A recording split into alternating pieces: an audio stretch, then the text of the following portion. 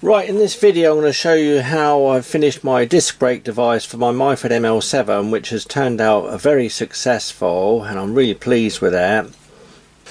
I've got a new HSS High Cobalt drill set to actually test out which I've got from Banggood so I'm looking forward to trying these ones out. And I've got some excellent value HSS blanks to show you. I'm not going to test these out but I want to show you these because they're so great value for money.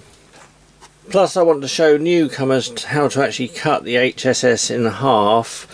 And I say that because um, these are 200 millimeter long and this is why they're so great value for money.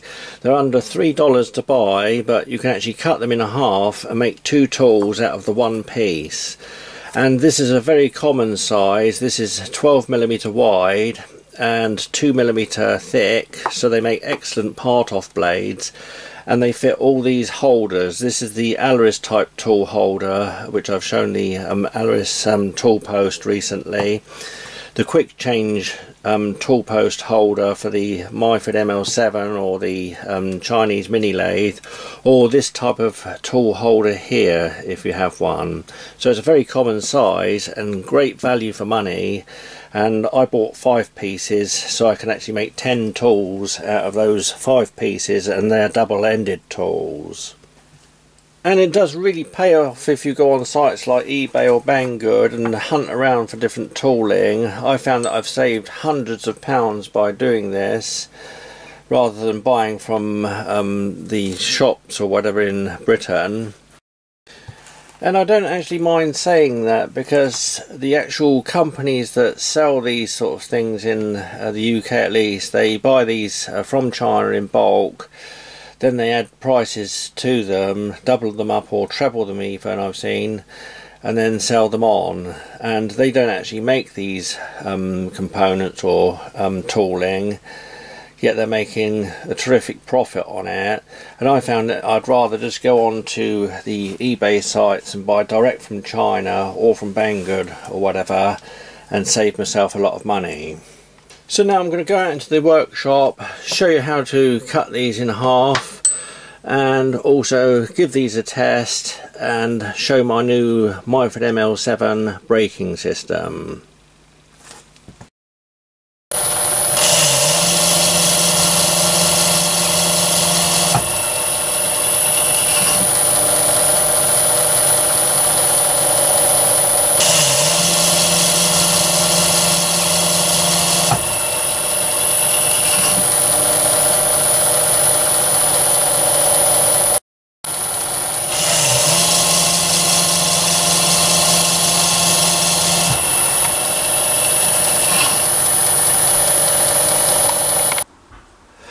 Right, so this is how I fixed it, the Myford ML7. I've got a block of brass here which is screwed onto the guard here from the inside with two 6mm stainless steel Allen bolts.